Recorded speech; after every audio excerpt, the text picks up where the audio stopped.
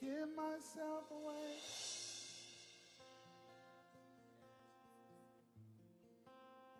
I give myself away so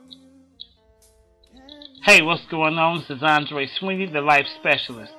Welcome to the a Life Show, the show that gives you the tools and principles necessary for an outstanding life. Today's segment is called The Quote of the Day, and today I have another awesome quote that I hope will inspire you. It reads as such The man who moved the mountain is the one who started taking away the small stones. And this is a Chinese proverb. I love this quote. We all want to do big things. Well, some of us. A lot of us want to do great things. We want to make a huge impact. We want to change lives. We want people to operate into their destinies and their purpose. We want to see the lives of our young people enhanced. We want to see the economy turn around. We want to see programs offered to the disenfranchised. We want to see marriages built back up and we want to cut into this divorce rate. And these are all huge undertakings that's going to take a lot of work. But oftentimes we see these changes as the big picture.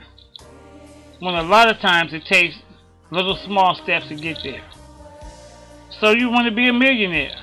You want to be the next Donald Trump, the next Warren Buffett, the next Andrae Sweeney. Yeah, I'm speaking it. You want to be the next big thing, the next Oprah. But understand that the process that these people took were making sure that they took the small stones away first before they took down the mountain. You want to be a millionaire? Are you educated? Do you have a vocation? I'm not talking about just going back to school. Do you read? Do you have a mentor? Do you have someone to explain their experiences to you so you don't have to go down some of those roads they went down? Are you being financially responsible? Do you have a bank account, a checking, a savings? Are you thrifty with your money? Do you just blow everything? What steps are you taking to be a millionaire? Or are you just hoping that the lottery falls in your lap? Are you hoping that they pick you for the next reality TV show? Or are you doing the small things that millionaires do? Are you changing your mindset? How do you think as relates to money and wealth? Do you read? Do you read books about wealth? Have you read Donald Trump's books? Robert Kiyosaki? Have you read these people? Are you studying their life?